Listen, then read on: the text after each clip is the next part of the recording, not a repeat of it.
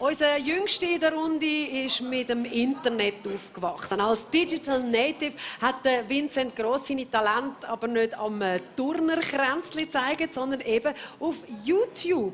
Mit 22 könnte er jetzt eigentlich zu einem Song tanzen aus der Jahreshitparade 2018, aber er hat sich für ein Lied entschieden, das aus seiner Perspektive eigentlich äh, fast schon ein Oldie ist. Geboren bin ich im 1996 und äh, ich sage mal so, mein Teenageralter ist so ab 2008, 2009 bis vor, vor ein paar Jahren gewesen. und was das extrem prägt hat. Ich würde schon sagen, die technische Entwicklung, die technischen Mittel, aber auch extremes Internet natürlich, wo eben für jeden zugänglich ist. Und ähm, es, es, haben sich sehr viele Chancen geöffnet für mich auch, ich sage mal jetzt als Musiker. For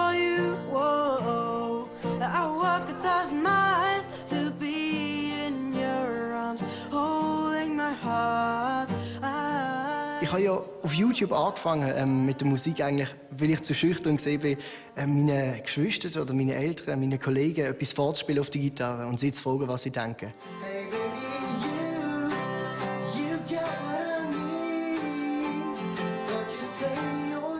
in der Öffentlichkeit so aufzuwachsen, sprich auch Sachen eben im Internet preiszugeben, das ist für mich eigentlich wie normal geworden. Also, und ich glaube, ich spreche für meine ganze Generation. Aber ich tue selber auch jetzt mit der Musik nie zu viel Privates. Gell? Ich finde, ein äh, gewisser Teil, das ist so mein Privatleben, das, das nehme ich mir, das brauche ich auch, das ist mein Fundament. Und ähm, ja, gewisse Sachen, zum Beispiel, wenn ich versuche zu tanzen, das äh, tue ich dann mit der Welt teilen. Und ich hoffe, dass es nicht allzu schlecht aussieht. Mambo Number 5, das ist der Song, den du dir ausgesucht hast. Yeah. Und wir tanzen hier dazu eine Salsa. Mhm. Und ich würde sagen, wir legen gerade los. Ich glaube, der Song passt zu meinem Jahrzehnt, weil er einfach happy ist. Er ist fröhlich, er verbreitet gute Laune. Von dem her ist das, glaube ich, ein würdiger Vertreter. Die Herausforderung bei Salsa ist die Körperbewegung. Das ist nochmal etwas ganz, ganz anderes. Es ist ein sehr lebensfroher Tanz und ähm, ja, hat Hüften. Denk mehr an das Smoothige. Okay.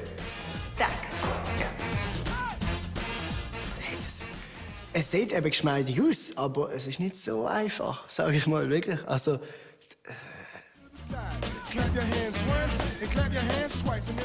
das müssen wir mal nachmachen, wirklich. Links, rechts, links, links, rechts, links, rechts, links. Bis zur Live-Show muss noch einiges passieren, dass man kann erkennen kann, dass wir auf Salsa tanzen und dass die Lockerheit auch denen vorhanden ist. Sechs, sieben, eins, zwei, drei, fünf, sechs. Okay. Mhm. Wir stoppen mal. Es ist ehrlich gesagt schon nicht so prickelnd, wenn du auf gar nicht mehr Stand bringst. Weißt du, am Anfang eben rechts, Schritt links, das schaffst du noch und dann irgendwann hast du so einen Knäuel in deinem Kopf, in deinem Hirn, dann, dann ist einfach irgendwie gar nicht mehr gegangen. Folgendes, es geht darum, dass ich äh, auf dich draufspringe, hinter dir durchgehe und unten durch wieder raufkomme. Wo sie mir erklärt hat, was sie meint, habe ich schon gedacht, irgendwie, das ist jetzt das ist ein Witz, oder? Genau. Okay, mal bis da Und jetzt mache ich das Gleiche mit dem Kopf oder mir? Ja. Wirklich? Ja. Jetzt müsstest du mich hier heben. Ja, was? ja, aber... Und dann gehe ich hier. Also bisher habe ich weder Jessica, noch Monika oder Rita zum Tanzen gebracht. Werden es sehen, ob ich es dann noch schaffe. Bis zur Show.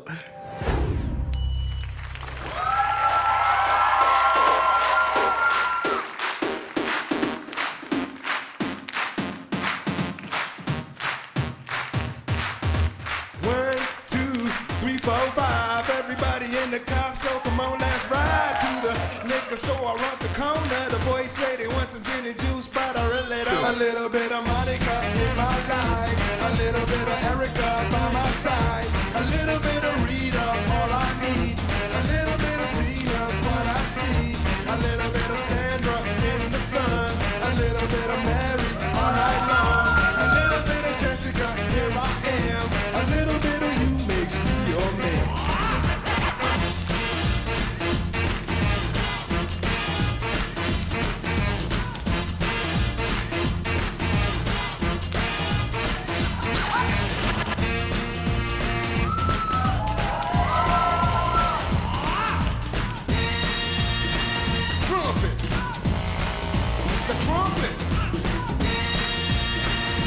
Number five.